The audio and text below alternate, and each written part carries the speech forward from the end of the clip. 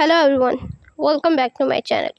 Today in this video i will show you how to fix current update from ios 15.7 to ios 16 first of all subscribe to my youtube channel and press the bell icon to get new tech videos. Now let's start the video. Solution number one. Open the setting app on your iphone. On the setting page tap wi-fi turn on Wi-Fi and connect your Wi-Fi. Solution number 2. Open the setting app on your iPhone.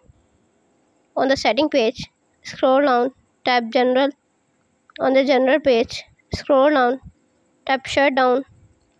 Now slider to power off, slider to turn off your device. Then wait for few seconds and turn on back. Enter your passcode Solution number 3.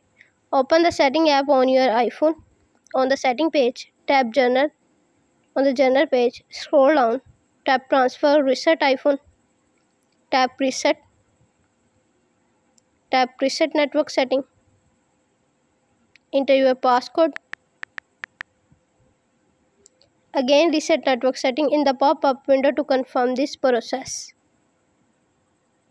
Thanks for watching this video.